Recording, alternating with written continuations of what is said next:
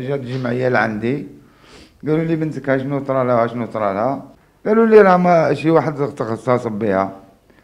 مشيت تبعتها لسميتو للمخزن. ومن بعد تبعتها للمخزن. هو عطاني المخزن البنزين ديها وهي تمشي لدارها. على ما تدوز بحال 15 يوم غدوز في الجلسه داكشي عاد شغل الدولة. سخبت ما بقيتش كنقفل أنا كاع. على بنتي. والو. اب راه مصدوم يعني ما قدرش يعبر ولا يهضر ولا يتكلم في, النزيلة اللي وقع للبنية ديالو ولا اللي وقعت له هو في الحياة الشخصية ديالو.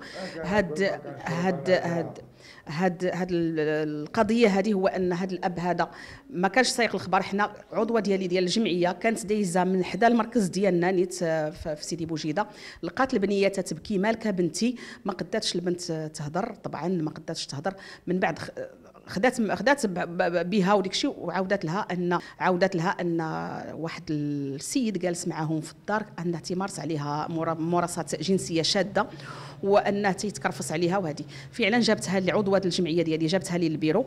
آه، استمعت أنا للبنية طلعتها لعند السيد الوكيل العام لدى محكمه الاستئناف هنا في مدينة فاس. درنا شكاية مباشرة اللي هو بدوره آه، وجه رسالة للشرطة القضائية من أجل فحص الطفلة.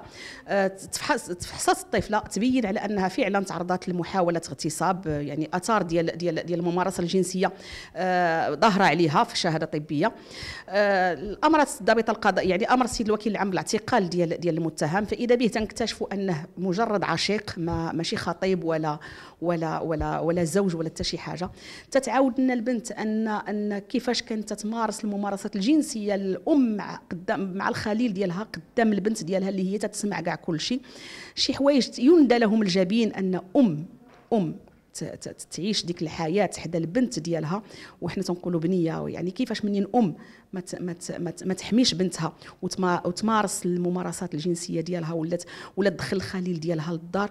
اذا اذا كنتسناو من هذه الأم القدوة؟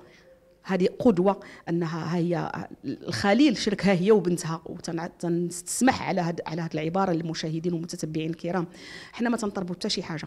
أول حاجة تنطالبوا المحسنين الله يجازيهم بخير اللي اللي في استطاعته بالقليل ولا بالكثير. باش باش ما قسم الله أول حاجة يعاونوا هذا الأب هذا. ست شهور ديال الكرا مجموعة فيه. آه والضو والماء الكرا الكرا الكرا ب 700 درهم. آه كذلك أنكم كيف ما شفتوا ما عنده حتى حاجة في الدار ديالو. ثاني حاجة هو أن كرامته ترجع له. بغينا غير شوية كرامته مسكين تطلع لأن تهانت كرامته بزاف بزاف. هاد الزوجة اللي جابها من البادية ودخلها دخلها الفاس رجعات رجعات هي مغولة عليه كيف ما تنقولوا. حنا ما تن ما, تن ما, ما شي حوايج راه راه صعيب باش نشرحوها بزاف لأن الهضرة بزاف طويلة بزاف من المعاناة اللي عانى هذا السيد هذا. آه وكذلك تنطالبوا بإنصاف الطفلة من من من, من المحكمة.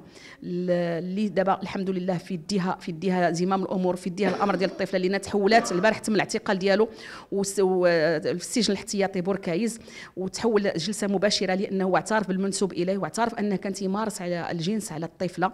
كان قال لهم على انه كان تيتحشش وكان تيمارس الجنس عليها. الجلسة إن شاء الله نهار 23 في الشهر عندنا جلسة مباشرة بإذن الله لأنه هو صافي اعترف الملف جاهز إن شاء الله باش باش تأخذ الحق الحق بنتها وكذلك يوم الاثنين إن شاء الله غادي نرفعوا دعوة ديال إسقاط الحضانة على الأم لأن غير أهل أهل الحضانة ما يمكن شيء أن أم تدير هذا الشيء كامل وتبقى البنت عندها لأن ما ما عادش نامنوا لها نهائيا. وإنصاف هذا الأب هذا المكلوم لأن من نهار اللي بدينا معاه الملف ديالو لأنه هو ما كانش في خبارو راه حنا اللي جينا خبرناه على أن البنية ديالو مغتصبة. النهار اللي بدينا معاه الملف وهو مكلوم وهو تيبكي حتى مسكين مرض بوصفير حتى معاناة كثيره كثيره كثيره كثيره تيعانيها. رسالتي من هذا الموقع المشكور اللي واقف دائما مع الضعفاء وناصر آه، ولو حتى بتسليط الضوء على مثل هذه الحالات هادو اعلاميا آه، تقوا الله تقوا الله في الأطفال. آه، كيفاش كيفاش تجي الفكرة ديال بيدوفيل أنه يشد جسد ديال طفله صغيره ولا طفل صغير ويهتك العرض ديالو ولا يغتصبه ولا يمارس عليه الممارسات الشادة.